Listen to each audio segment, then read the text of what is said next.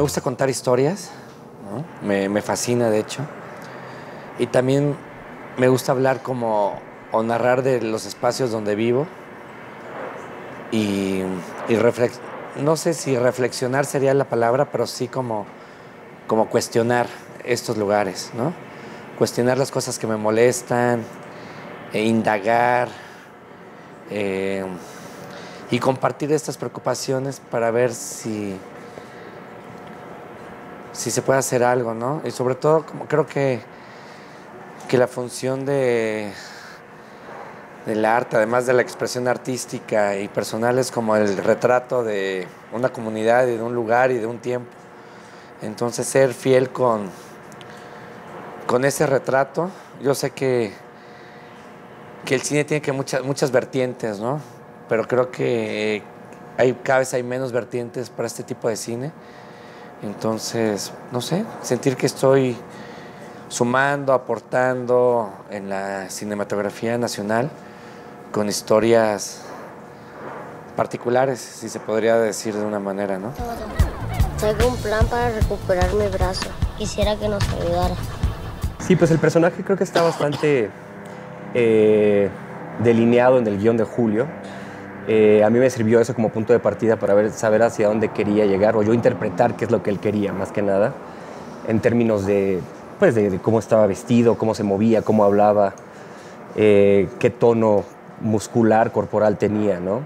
Y pues sí es un personaje, es un padre como cualquiera, evidentemente, pero sí tiene la particularidad de ser adicto, de estar sumergido en un mundo de, de violencia, es un esclavo en muchos sentidos, tanto laboral como, como eh, dependiente de las drogas.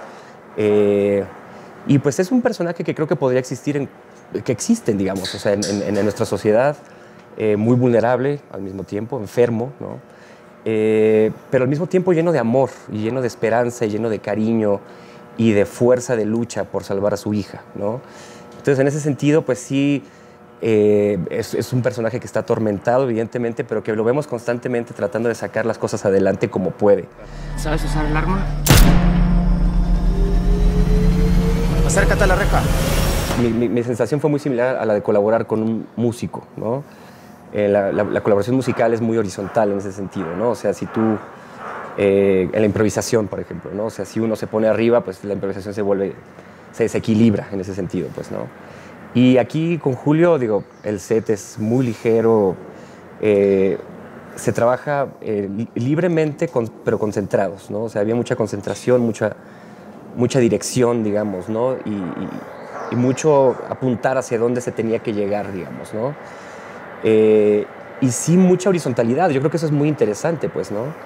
O sea, en donde yo podía proponer incluso cosas. Yo de repente le decía, oye, si cambiamos esto, y me decía, Julio, pues vamos a, a tratar, ¿no? Entonces, creo que, digo, por alguna razón Julio no trabaja con actores, hay una desjerarquización que él busca, que genera una naturalidad, que genera colaboración y que genera una magia, a final de cuentas, en, ciertas escenas en particular, ¿no? Este, que, que, son como, pues sí, como muy, muy, muy este, naturales, a final de cuentas, ¿no? Esa naturalidad, pues a mí me hizo sentir muy cómodo, evidentemente, nunca sentí, nunca me sentí eh, que, que estaba haciendo algo mal en ningún momento, ¿no? O sea, más bien yo quería hacerlo mejor, pero Julio me decía hasta aquí o, o ya estás bien, o sea. Todo lo que se cuenta en esta película es real.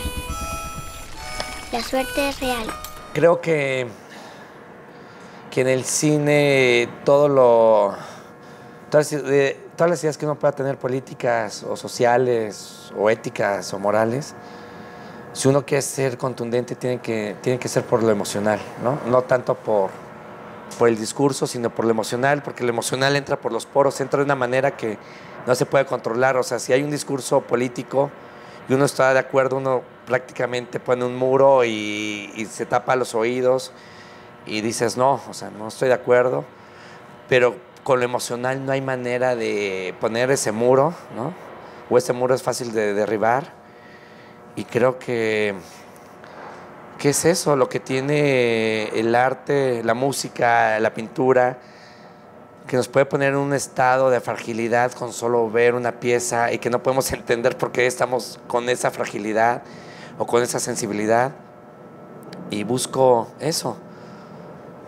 eh, tratar de recrear las emociones que he tenido cuando escucho una canción que me conmueve o un libro que me conmueve o un cuadro que lo veo y digo que de repente no puedo entenderlo del todo, pero sé que hay algo que me está transmitiendo el autor o la pieza que puede ser, que a lo mejor técnicamente no lo puedo descifrar, pero hay algo que sé que, que me está moviendo el piso, ¿no?